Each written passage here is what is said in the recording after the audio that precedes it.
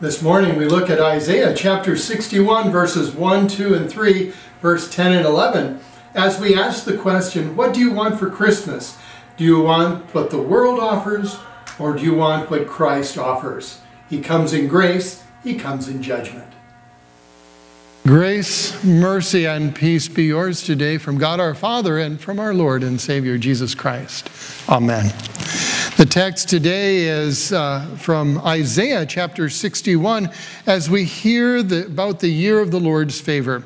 I'll begin with verses 1, 2, and 3.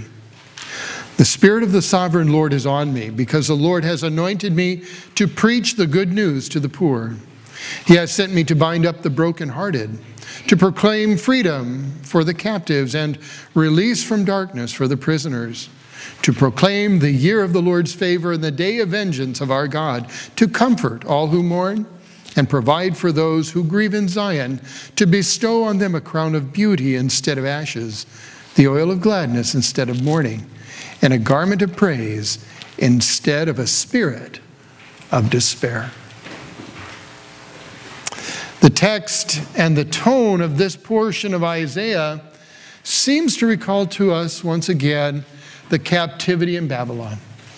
The people that God had rebuked, who were hard hearted and unrepentant, and whom he had to forcibly remove from his holy land and his holy city and send far away across the desert to a strange place.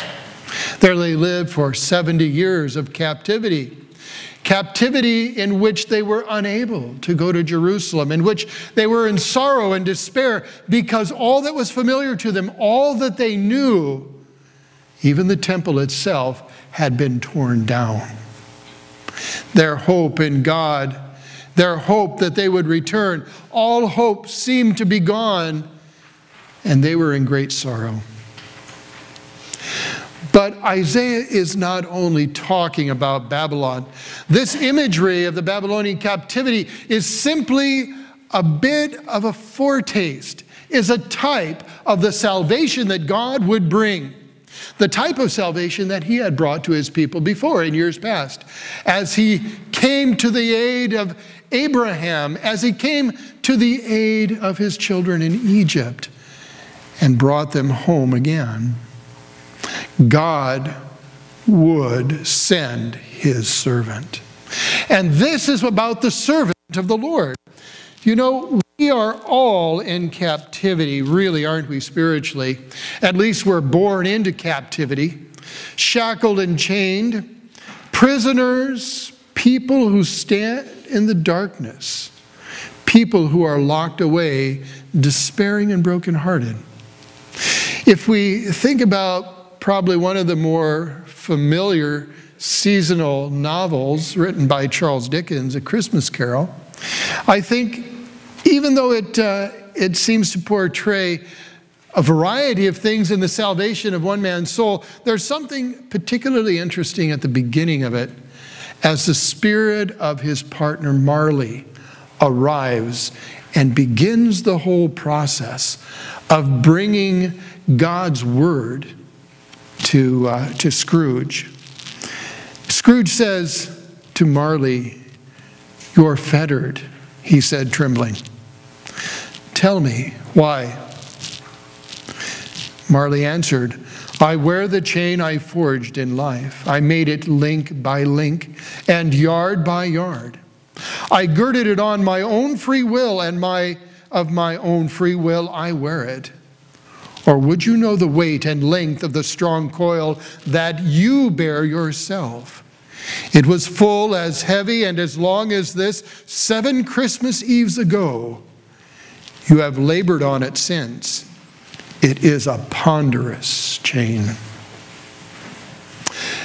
Might well describe the chains that we ourselves are bound in from the original sin that we're guilty of at birth to the actual sins that we do day in and day out, the natural person within us, we call that the old Adam, struggles in his rebellion against God. The desire to be God himself and to overcome God, to shut God out of his life. Paul tells us in the book of Romans that The wages of sin is death, physical death, eternal death, spiritual death. But he also tells us that the free gift of God is eternal life in Jesus Christ. People in this world are locked in the chains of sin and death. You and I no longer because we have been set free.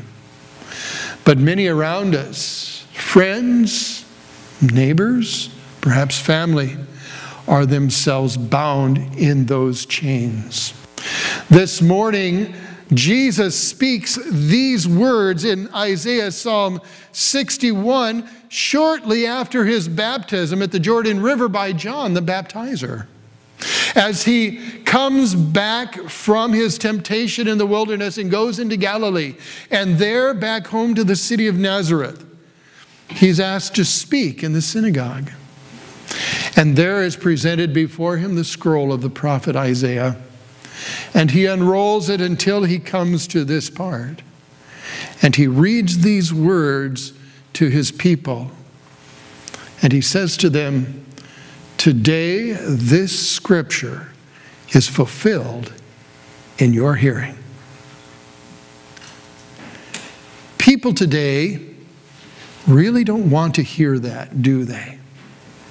People today want a Christmas that is glamorous and glitzy. They want colored lights and they want tinsel on their trees.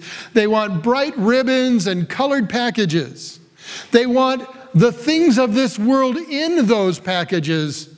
And maybe they want something that feels a little bit of religious to give them the atmosphere of Christmas, but they don't want the gift of Christmas itself. So we ask today, what do you want for Christmas? The people in Nazareth were unhappy with the Lord. They were unhappy with what he had to say. They became angry, in fact, and they thought to do him harm. They would not receive the clear preaching of the gospel of Jesus Christ for the salvation of their souls. And they rejected the Lord and his word and came under the condemnation of God. For God comes at Christmas, and God comes again at the end of time in salvation, forgiveness, joy, and peace. And He comes in judgment for those who will not hear His word. Today, He says to you and I, who are bound or were bound in the chains of sin, to those who are still bound in those chains, to those whose hearts are broken and downcast, he says, I have come to preach good news to you who are afflicted. I have come to bind up your heart, O you who are broken in heart. He says, I am come to break your chains and release you from your dark prison cells that you might walk out freely into the light of God's love. To proclaim the year of Jubilee in which everything goes back the way it was and all people are released and everything is restored in the name of the Lord. For this is the year of the Lord. This is the day of judgment of our God. God takes those things that are broken and in pain and sorrow, and He mends them by the power of His word. He takes our broken and sinful lives and He restores them in His love. He says in verse 3 to bestow on those who grieve a crown of beauty the imagery of a wreath put upon the head, which brings joy to the winner of a race, which brings authority to a king. He comes to bring you beauty instead of ashes. There is no longer any reason to be mourning in sackcloth and ash. There is no longer any need to despair and sorrow, for he brings you the oil of gladness instead of mourning. He pours it over your head, the fragrant oils filled with spices that give you that wonderful, wonderful aroma, pleasing to you and pleasing to God. You know, this oil of gladness only appears one other place. Uh, that's in the Psalms, in a bridal psalm, in which God speaks of his bride, the church, dressed and anointed and beautiful.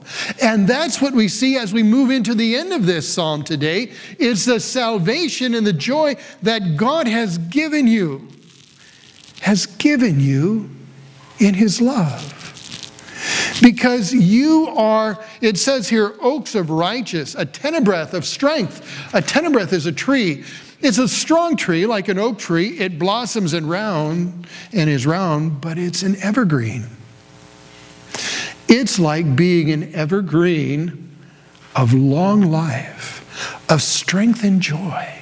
What God has given to you and all those who believe in Him through the gift of Jesus on the cross, the tree that stands at the beginning and end of time, the tree upon which our salvation was won, He has given you joy and happiness and long life and strength and power and forgiveness and peace and all of the things that He would have you to have to have you to have in Christ Jesus your Lord. For the gift of Christmas brings to you abundant gifts. And so we look at verse 10 and 11 as we now move from considering the Savior who comes, who came long ago, and who promises to come again, because here he talks about the church.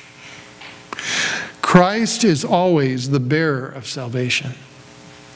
Christ is always the one who brings redemption.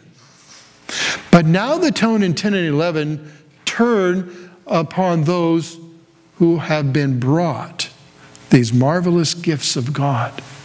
And here in 10 and 11 it says, Lord, my soul rejoices in my God, for he has clothed me with garments of salvation and arrayed me in a robe of righteousness, as a bridegroom adorns his head like a priest, and as a bride adorn herself with jewels. For as the soil makes the sprout come up and a garden causes seeds to grow, so the sovereign Lord will make righteousness and praise spring up before all nations. And now we come to the bridal picture, don't we?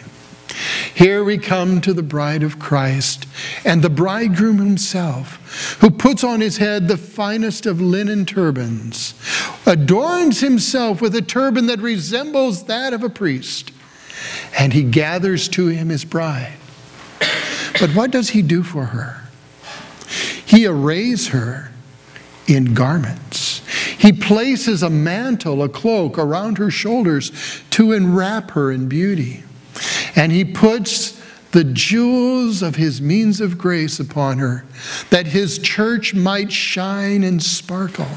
He brings us beauty, he adorns his bride with heavenly splendor.